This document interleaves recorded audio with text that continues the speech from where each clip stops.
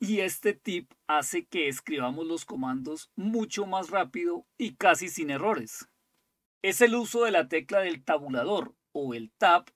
Lo mejor es explicarlo con un ejemplo. Entonces, si por ejemplo yo quiero ir al directorio slash etc slash default slash group d, inicialmente yo tendría que escribir todo esto, que sería cd espacio slash etc slash default slash group.d y aquí entonces daría enter.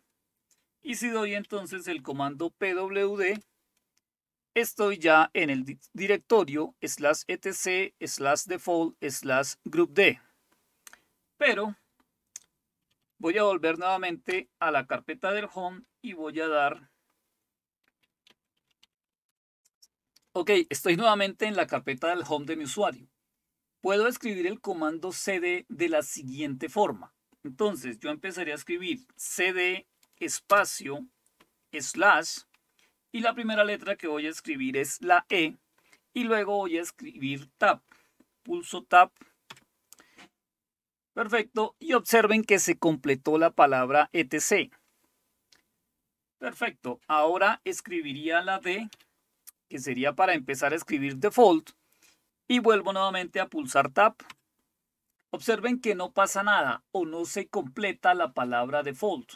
Ahora, si yo doy otro tab, me van a aparecer todos estos directorios o todos estos nombres, que son los nombres que empiezan por D, dbus, dconf, dhcp, dkms y por supuesto tiene que estar default y vuelve a aparecer el comando que estoy escribiendo. Es decir, no se ha completado el comando o no he dado enter y yo puedo seguir escribiendo. Por ejemplo, yo escribiría la E y vuelvo a dar nuevamente tab.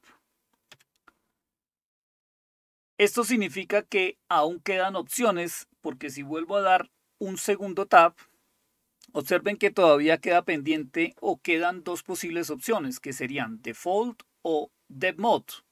Eso significa que si yo doy la F, la única opción posible es completar el comando con el tab y se completaría ahora sí con default. Entonces daría tab y ya entonces se completa default y haría exactamente lo mismo dando la G y enter y observen que ya el comando es Obviamente le estoy explicando paso a paso, pero es realmente rápido de hacer. Lo haría nuevamente cd, aquí dejaría cd slash e slash default group.